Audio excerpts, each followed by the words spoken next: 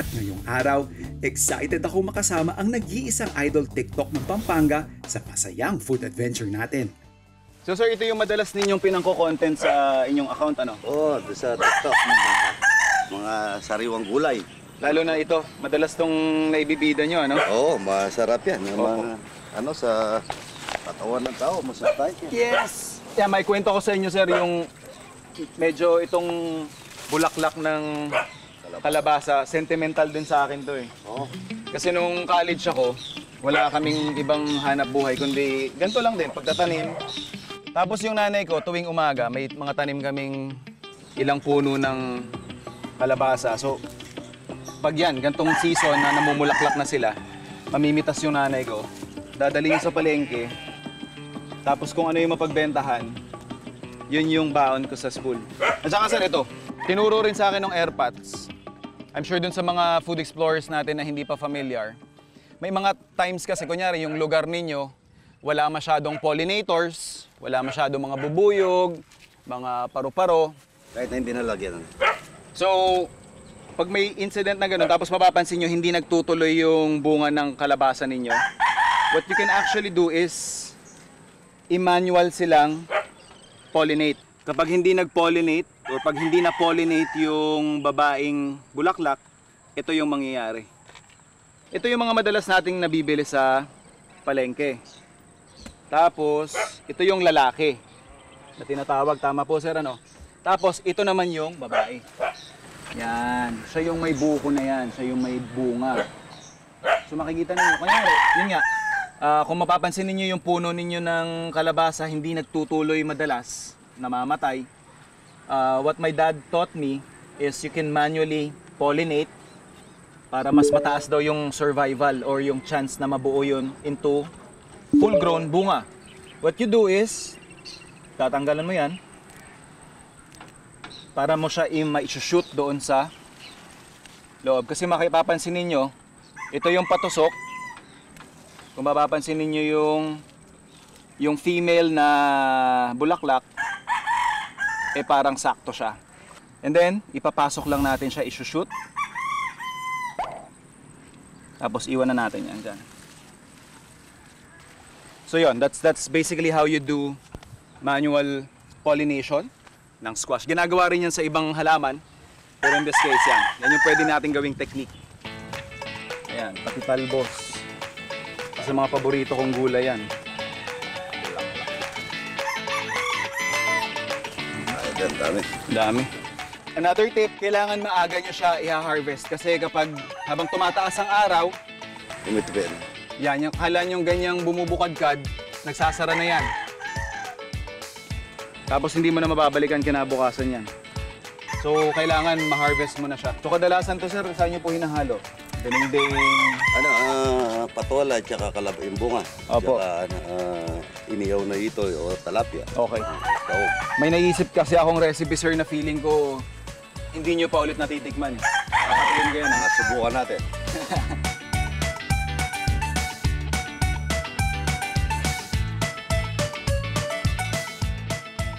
Kadalasan kapag yun nga, bulaklak ng kalabasa, hinahalo to sa mga diningding or yung mga mabilisang gulay.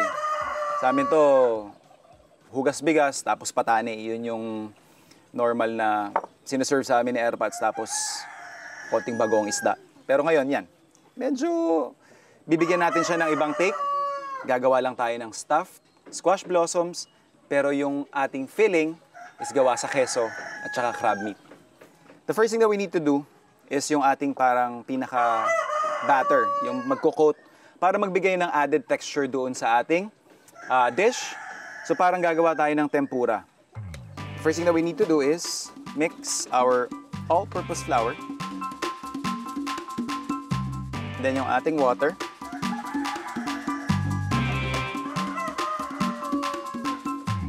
Then yung ating itlog. Tapos season lang natin ng konting salt.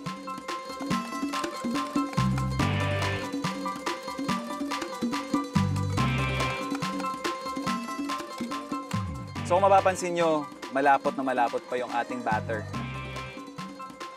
Kasi hindi pa yun yung parang pinaka-final niya. Lalagyan pa natin ito ng yelo o kaya malamig na tubig. Ngayon gusto natin mababa yung temperature niya, malamig. Kasi ito yung magbibigay nung parang putok-putok na itsura sa tempura. So parang siya yung magbibigay ng light na texture doon sa ating pinaka crispy na end product.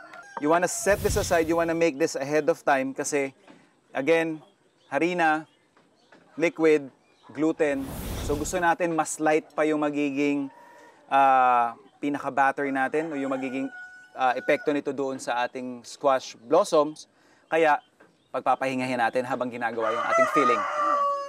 For our filling, napaka-solid nito. Cream cheese, lalagay natin ng crab meat. And then sisison lang natin ng salt and pepper. Tapos babagsakan natin ng konting chives. Kung mas trip ninyo yung medyo mas maalat, tsaka may access kayo sa palengke, yun, kesong puti. Pwedeng pwede rin natin pamalit imbes na cream cheese. And then we'll just season it lightly. Some salt, some pepper. Then halo lang natin para hindi naman nasa isang parte lang yung asin.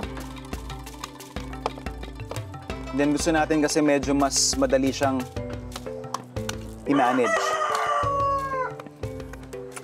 And then we'll just add in yung ating crab meat. Kung wala kayong crab meat na mabili, pwede rin kahit maghimay kayo ng isda or tinapa flakes.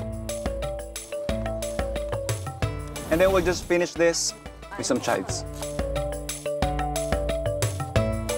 Kung wala kayong plastic piping bag, pwede kayong gumamit ng wax paper. And then, ifo-fold nyo lang siya para magawa ninyo to. Kung wala talaga, kahit plastic labo, well, paggagamit kayo ng, kunyari, yung ordinaryong plastic, ang problema kasi doon, medyo mabigat yung filling natin. So kapag pinupuwersya mo siya ng ganon, magsi-stretch lang yung plastic, hindi siya lalabas doon sa butas. But yeah, definitely, kung konti-konti lang naman na portion yung ilalagay ninyo, I'm sure it would work. Ayan, so we'll just cut the tip.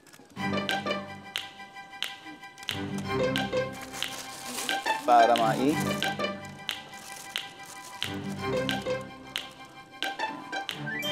Then, balik nyo lang ng konti. Ready na tayo mag-stuff? Maglalagay muna ako ng mantika doon sa ating pan.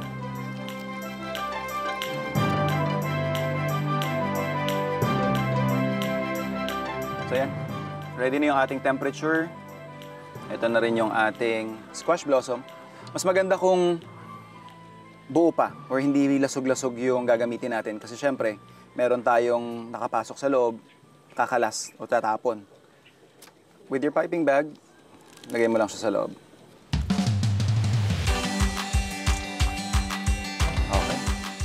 Yan, huwag niyo masyadong pupunuin kasi again, baka sumabog.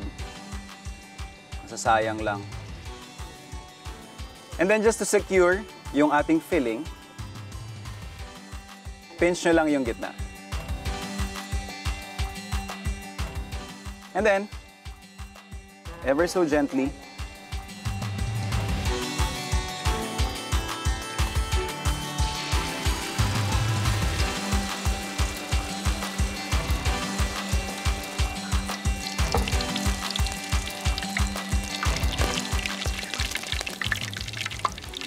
So guys, ito yung sinasabi natin, yung mga blisters na yan. Yan. So yung temperature, yun yung nakatulong dyan. Thank you, sir. One, zero.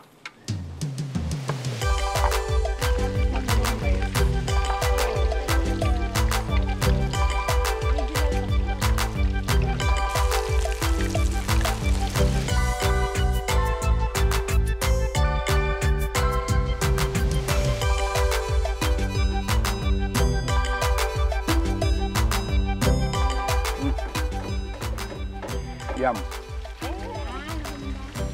Mainit.